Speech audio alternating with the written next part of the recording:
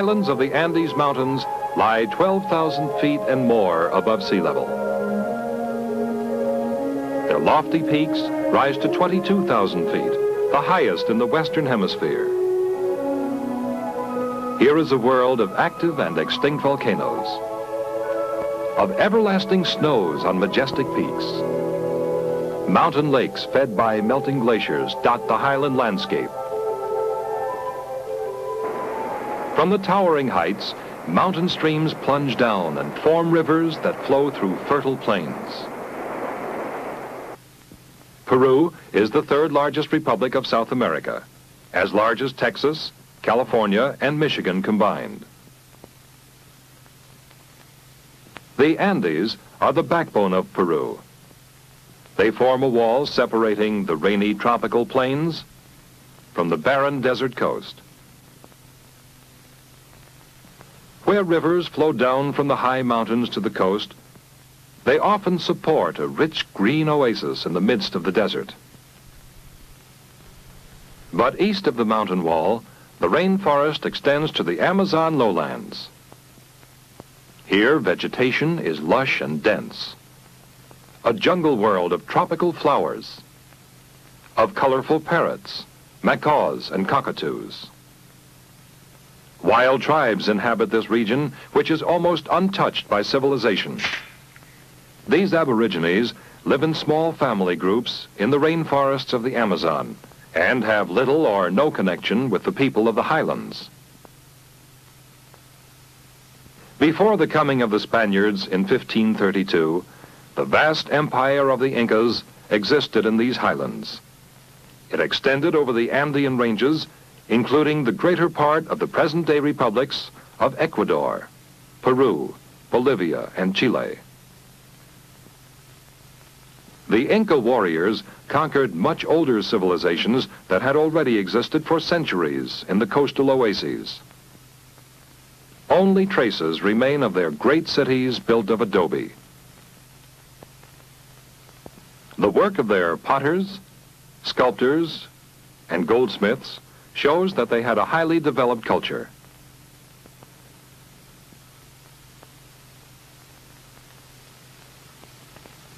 High in the mountains, the Inca emperors developed their own civilization. The builders of their fortresses showed a skill that still puzzles us today. No mortar holds these stones together. Only a tight and clever fitting enables them to withstand time and the weather. How did the laborers cut the stones from the quarry without metal tools, without explosives? How did they carry those gigantic boulders, many of them 50 tons or more, up the steep mountains? The Inca civilization died under the sword of the conquerors from Spain. And with it, died the secret of its masons. But the memory of the Incas is not dead. The people of the mountains still remember the mighty emperors. In the Inca capital of Cusco on festive occasions, the highland Indians dress in imperial robes to commemorate the glory of a great civilization. For almost three centuries after 1532, the King of Spain ruled over Cusco. The Spaniards built their churches here and brought their religion to the Indians. Yet today, many of the customs of the Incas still survive, interwoven with Christianity in the lives of these mountain people. Today, nine-tenths of the population in the mountain country is pure Indian, or people of mixed blood called mestizos. Most great Inca cities lie in ruins, but Cusco has survived. Outside its walls, people live today much like their ancestors did under the rule of the Inca emperors. In the colorful Chincheros Valley near Cusco, Antonio Chambi works the land which is the source and meaning of life for his people. Antonio is harvesting potatoes, the staple food of the Indians. It was from Peru that the conquistadores carried potatoes to other parts of the Western world. Antonio's eldest daughter, Pilar, helps harvest potatoes. Each member of the family shares in the planting and harvesting. The community as a whole, as is customary among the South American Indians, has common ownership and use of the land. Antonio's wife and his sister are sorting potatoes. Some will be sold. Some will be preserved by an old Inca method, left to freeze during the night and thaw during the day until all juices are evaporated. Such dried potatoes keep indefinitely. The Spaniards introduced cattle to the highlands. In time, milk became an important part of the Indian diet. The animals graze on common pasture land. Here, the soil is so poor that no crops will grow. Many of the animals living in these high altitudes have thick protective coats of hair or fur.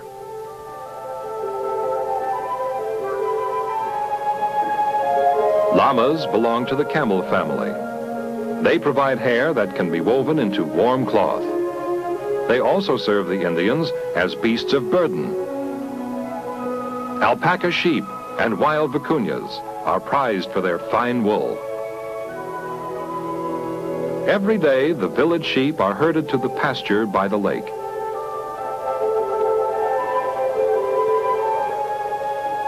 At sunset, they are driven back to the village. Sheep are the greatest source of wealth for the village. Their wool is the most important export of the Indians in southern Peru. In spite of bright sunshine, the mountain people dress in heavy woolen clothing because the mountain air at this height is always cool. Weaving is truly an Indian craft. Indians invented methods of weaving before the arrival of the Spaniard. Their looms are still crude, but their hands are quick and skillful from long practice. Each village takes pride in its original designs and patterns. These change little through the years. The Chambi house is large enough for both the younger and the older members of the family.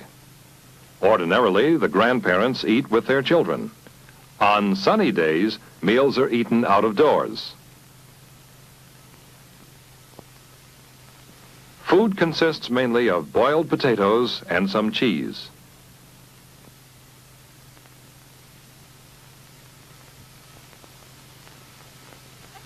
Like most people of these highlands, both the older and younger Chambis chew the flavorful coca leaves. Coca leaves are a mild narcotic which reduces the sensation of hunger or fatigue. They also drink a native beer made from corn.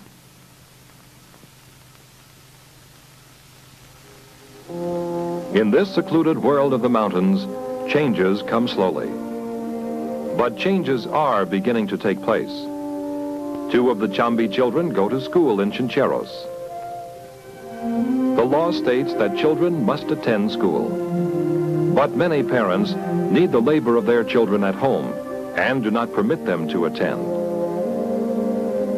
It is a long walk along the wall which Inca soldiers built long ago. It's easy to see some North American influences in the games played during the recreation period.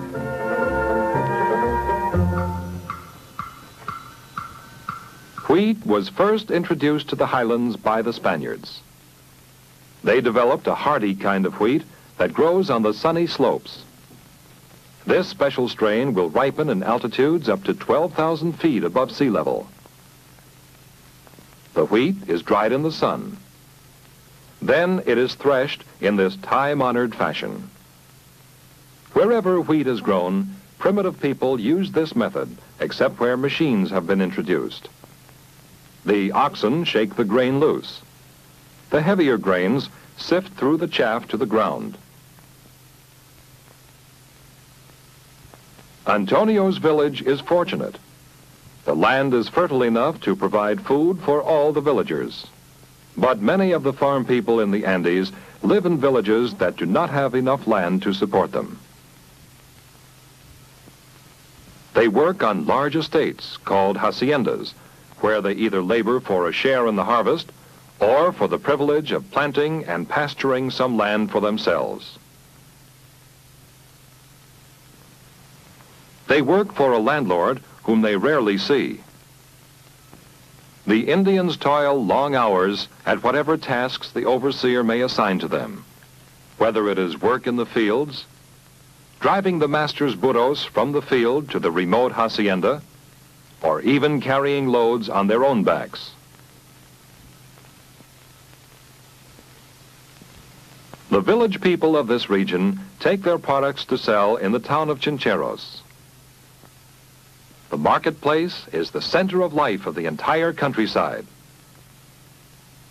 Most trading is done by barter. There often is as much satisfaction in comparing each other's goods as in the trading. But market day is not for trading alone. The hour for pleasure, for the fiesta, has come. The decorated oxen reveal that this is the day of the feast of harvest time. This ancient pagan feast of fertility is now celebrated as a Christian ceremony. The image of the Virgin is carried in procession. Fiestas give the mountain people much needed relief from daily drudgery. Traditional dances are part of every fiesta.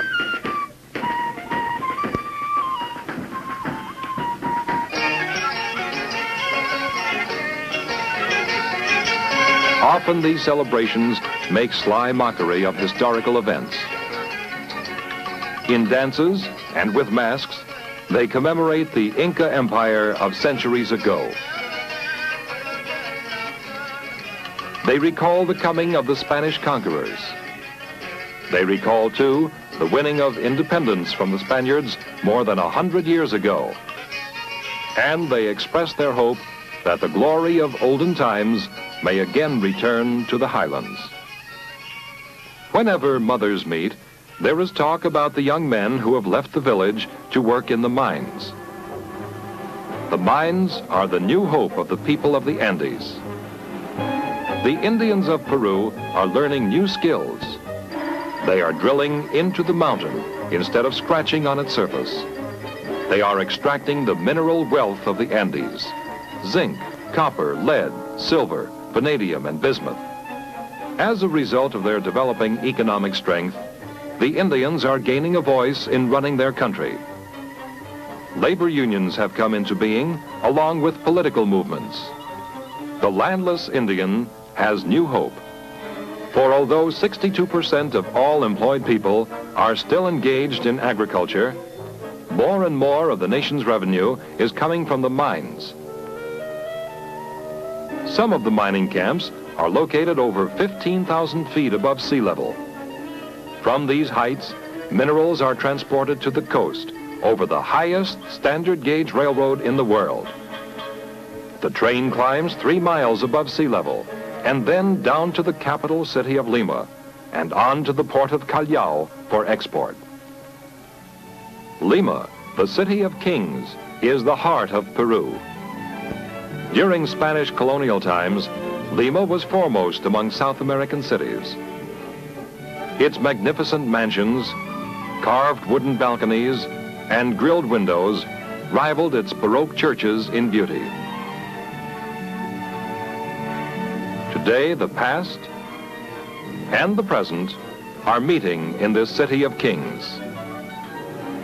The hands of the tenant farmers and of the mine workers create the wealth of the country. This wealth is reflected in Lima, which is politically, culturally, and commercially the most important city in Peru. From here, the nation of 10 million is governed. From its banks and office buildings, Peru's financial and commercial life is controlled. It is through Lima that Peru looks to the outside world. And it is from here that the will and effort to create a better tomorrow is spreading across the ancient region that once was the empire of the Incas.